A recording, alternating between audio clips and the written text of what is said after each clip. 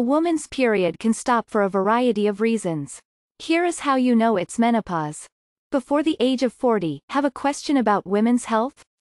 Ask Dr. Gunter yourself. The defining phenomenon of menopause is cessation of ovulation, producing an egg, which results in a drastic reduction in the levels of the hormones estrogen and progesterone. A woman is considered menopausal when she is one year from her last menstrual period, or had her ovaries surgically removed before her periods stopped. For women who have had a hysterectomy and hence have no menstrual cycle to follow, a clear transition from perimenopause, the onset of symptoms that are associated with menopause, such as hot flashes, vaginal dryness or sleep disturbance, is not possible to define without a blood test.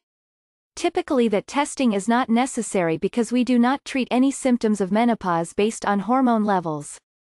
The average age of menopause is 51, but many women will enter menopause a few years before and some a few years afterward. When ovaries stop functioning before the age of 40, the diagnosis is primary ovarian insufficiency. We used to call it premature menopause, however, medically that terminology is not accurate as the varied reasons ovulation can stop with primary ovarian failure are typically different from the cause of menopause. Another reason to not use the term premature menopause is that this condition can affect women in their teens and 20s and insinuating their ovaries are old is not just medically incorrect, it is insensitive. Ovarian function in this situation can also be sporadic meaning the ovaries wake up intermittently and may ovulate and between 5 to 10% of women with primary ovarian insufficiency will get pregnant. By comparison, when you are menopausal you cannot get pregnant. The causes of primary ovarian insufficiency are diverse and include genetic reasons, infections, chemotherapy or radiation therapy, and autoimmune conditions.